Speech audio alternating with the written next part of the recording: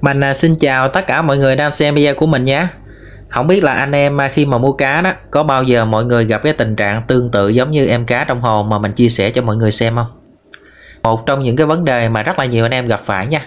Khi mình mua cá ở ngoài trại hoặc là ngoài tiệm về đó Anh em kiểm tra không kỹ mình sẽ mua trúng cá bệnh nha mọi người.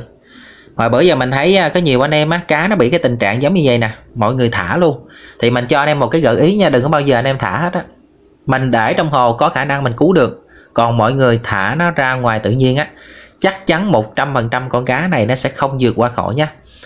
Rất là nhiều bệnh, nói chung là mình đón rất là nhiều bệnh nha, nhưng mà ở đây mình sẽ đưa ra cho anh em cái phương pháp để mà mình khắc phục, mình phục hồi cái tình trạng con cá nó bị giống như trong clip nha. Có nghĩa là nó vẫn còn giữ thăng bằng được và nó vẫn còn thở được. Khi mà anh em rờ vào nó đó, nó vẫn còn động đậy được thì con cá này mình cứu được nha. Chắc chắn là trên 80% sẽ cứu được và nó sẽ bơi bình thường luôn. Thì bây giờ à, mọi người lỡ mình mua rồi thì cũng đừng có nản quá. Anh em nếu mà có xem được video này của mình á mọi người chưa biết cách xử lý thì cứ liên hệ với lại mình nha. 5 kg muối hột trên một khối và 12 viên tetraxylin trên một khối nha. Anh em à, sụt oxy cho nó thật mạnh dùm cho mình. Mình để tầm cỡ khoảng 3 ngày. 3 ngày là mình không có cho ăn nha. Nhưng mà lọc mình vẫn chạy bình thường nha. Tại vì có nhiều bạn hỏi mình là khi đánh thuốc với lại muối hộp á, mình có chạy lọc hay không? Thì mình nhắc lại một lần nữa là vẫn chạy lọc bình thường nha mọi người. Oxy của mình phải mạnh nha, tại vì muối hộp với lại thuốc á, con cá của mình nó dễ ngợp lắm. Anh em mà không có oxy mạnh á, nó sẽ dễ dẫn đến cái tình trạng bị sốc nha em à, xin làm phiền mọi người một tí xíu nha. Đây là thức ăn và thuốc tím của bên shop bên em á. Thì hiện tại bây giờ em đang cung cấp hai dòng sản phẩm này. À, nếu mà anh chị em cô chú nào mình có nhu cầu á thì có thể liên hệ với lại nhân qua số zalo trên màn hình nha. Đây là ngày đầu tiên mình đánh thuốc là mọi người.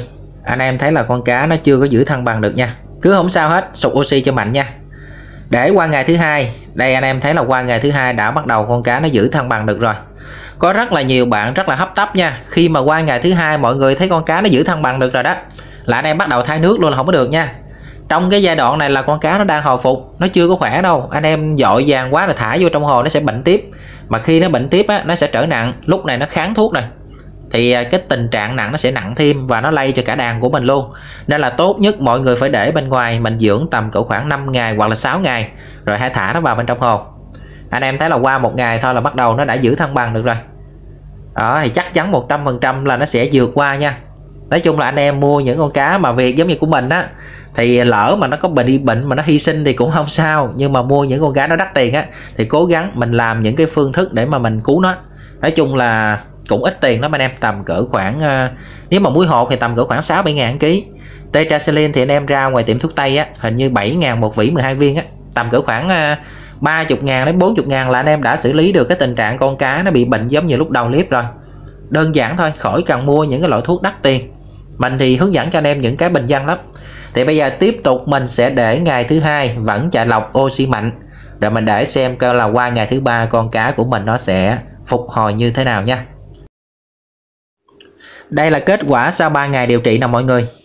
Anh em thấy là con cá của mình nó bơi khỏe mạnh bình thường, giống như chưa từng bị bệnh nha khi mà anh em xem video á, không biết là mọi người có cái tâm trạng giống mình không nha. Mà mình khi mà hỗ trợ cho mọi người mà thấy cá anh em khỏe đó, thật sự anh em vui một chứ mình vui tới ba lần.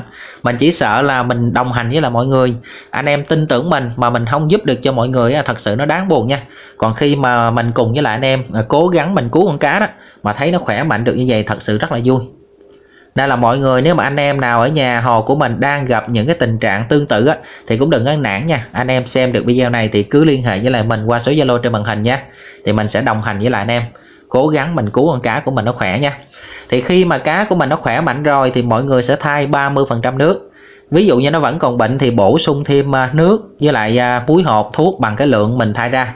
Còn nếu nó khỏe rồi thì mình thay. Khi nào nước trong rồi thì mình sẽ cho con cá này nó trở lại hồ chánh của nó nha à, sau 5 ngày điều trị thì cá của mình nó khỏe mạnh bình thường rồi thì mọi người sẽ thả nó lại vào bên trong hồ nha.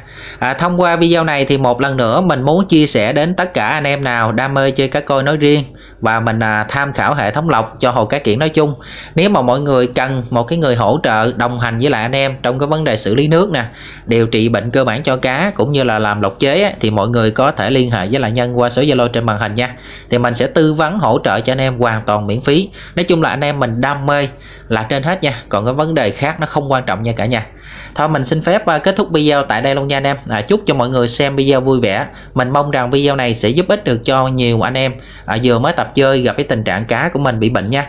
Mọi người xem video thấy những cái mình chia sẻ nào ích thì hãy nhớ nhấn like và đăng ký kênh ủng hộ mình nhé một lần nữa mình à, xin chúc cho tất cả mọi người xem video vui vẻ nhé